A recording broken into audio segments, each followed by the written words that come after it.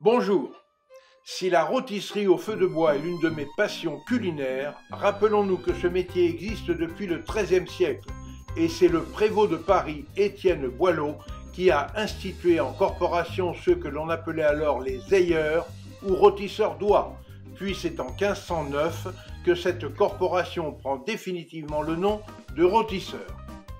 Quant à lui, le capucin, aussi appelé flambadou, est un ustensile de cuisine utilisé dans les contrées françaises dès le Moyen Âge. Un capucin se compose d'un entonnoir conique qui permet l'écoulement d'un morceau de lard gras enflammé. Il est fixé à l'extrémité d'une tige métallique terminée traditionnellement par un manche en buis.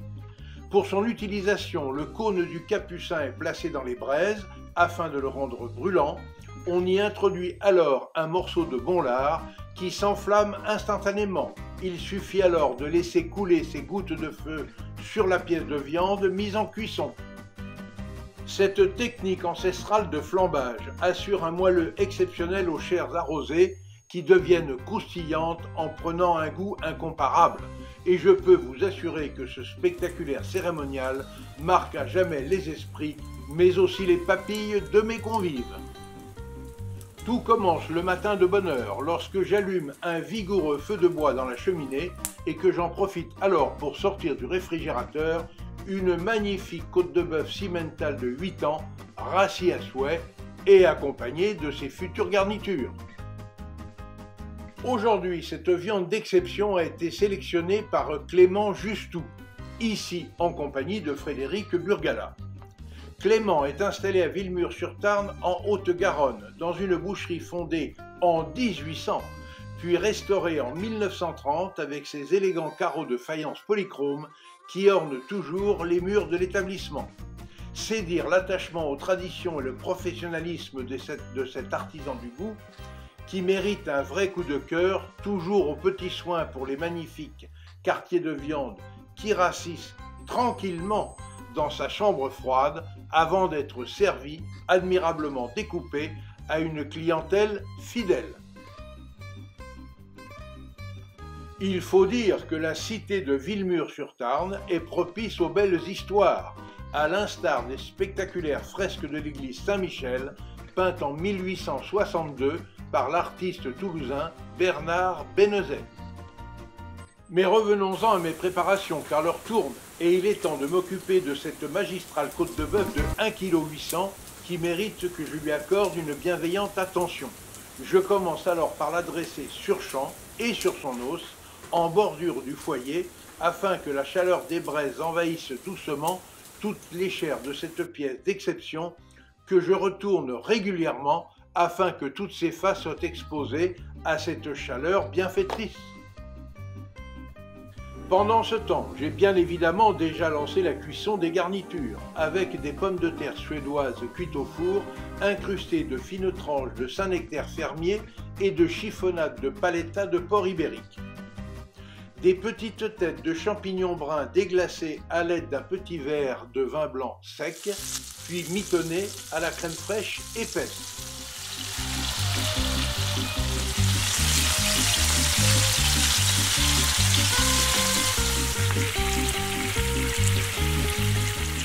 Et enfin, une poêlée de girolles agrémentée d'une gousse d'ail violet émincée et de persil du jardin ciselé.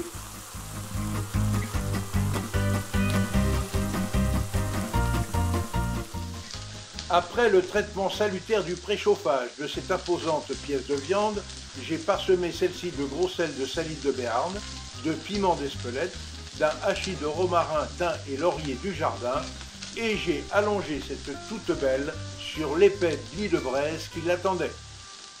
Après quelques instants, la sublime viande a commencé à faire entendre cet agréable grésillement annonciateur des plaisirs gustatifs à venir, et il fut bientôt temps de retourner cette plantureuse côte bovine.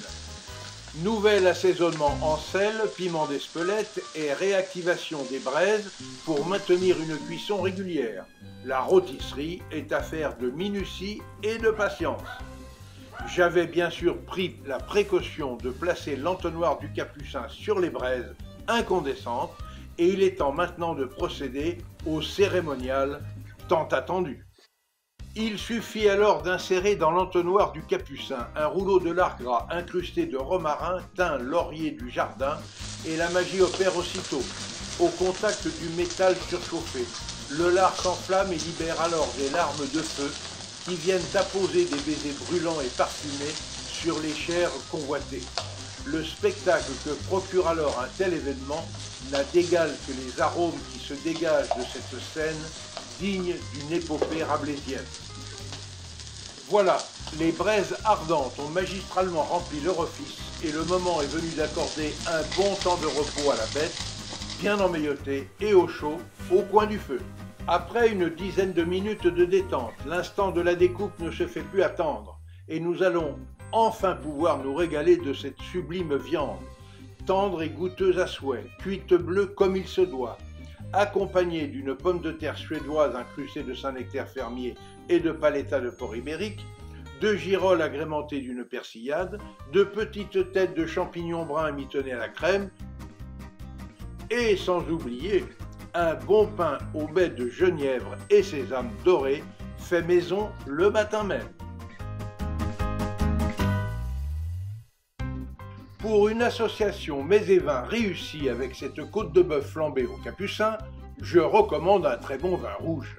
À l'instar de ce côte du Rhône du domaine Fond de Courte Dune, situé à Courtaison dans le département du Vaucluse, dont la savoureuse cuvée Vieille Vigne 2020 avec 60% de cépages grenache issus de vignes d'une soixantaine d'années. Cet excellent vin m'ayant été judicieusement conseillé par Gérard Dabrio de Plaisir du vin à Montauban.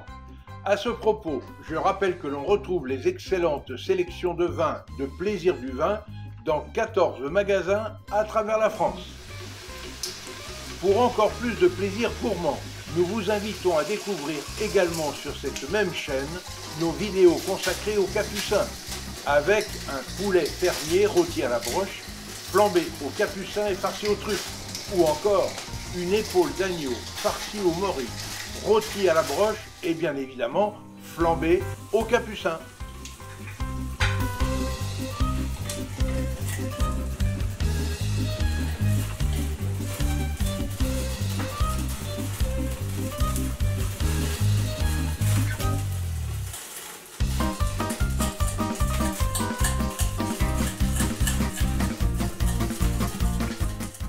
Bref, avec cette toute nouvelle recette, nous avons obtenu une fois encore, et pour notre plus grand plaisir gustatif, un accord mets et parfait.